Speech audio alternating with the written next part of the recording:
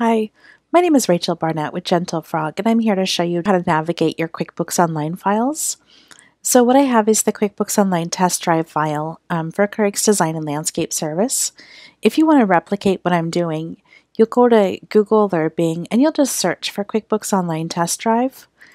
Oftentimes, it's the first link that appears in the list. You'll know that it's the correct link because the description will say Test Drive QuickBooks Online, and then the URL will say something about redirect and test drive. What I want to show you today is how to generate your profit and loss report and then how to view that report on a monthly basis so that way you can kind of see trends and compare to see if there's any anomalies or spikes um, in profit, hopefully, but also in expenses that you were unprepared for.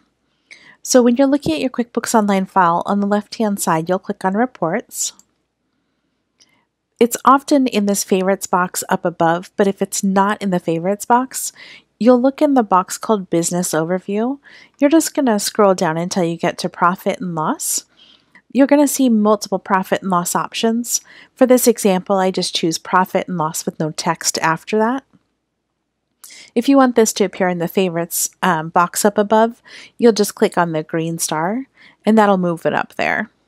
To open up the report, you just click on the text profit and loss.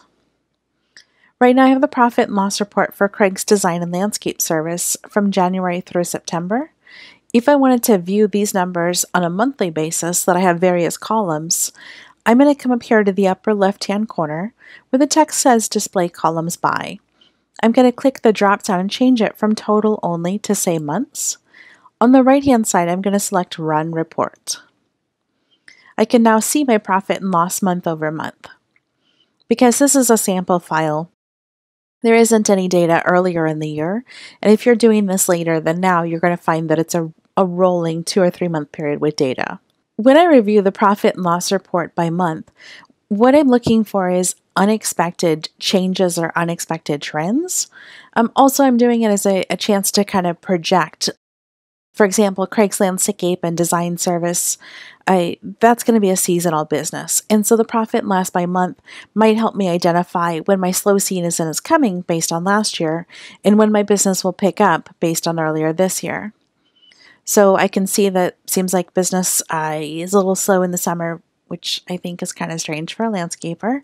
In addition to looking for uh, trends in income, you know, highs and lows of the income, I'm also looking for any sort of spikes in expenses. A spike in expense could be something that I forgot about, such as an annual subscription of software. It could be a mistake as well. So when I look this over, I'm just looking to see is there anything here that doesn't really match its neighbors? Do I need to investigate it further? As I look down, I can see that there's a rent expense of $900.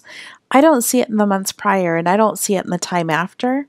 This is the sort of thing that, as the business owner, I would know if it's correct. I would know if I'm paying rent for an office. But as a bookkeeper who's coming in and looking at someone's books for the first time, I might think this is strange. I might think that it's strange that I don't have expenses before or after. If my client started renting an office in August, likely there will be rent expenses September, and there just isn't.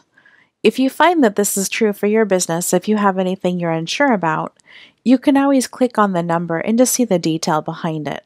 So I can see this is a bill. Um, the vendor for the bill is Hall Properties. The memo is building lease. Looking at that, I can see that there's nothing to be concerned about, and this is a, a valid bill, and there's not a mistake on my part, and there probably will be a bill that comes up for September. I'm going to go to the upper left hand corner and click on Back to Report Summary to take me back to where I was. So this is just one of the various ways that you can customize your profit and loss report if you want to view your data with just a slightly different angle. If you have any questions, please don't hesitate to reach out to me. I'd be happy to help you customize and create the reports of your dreams.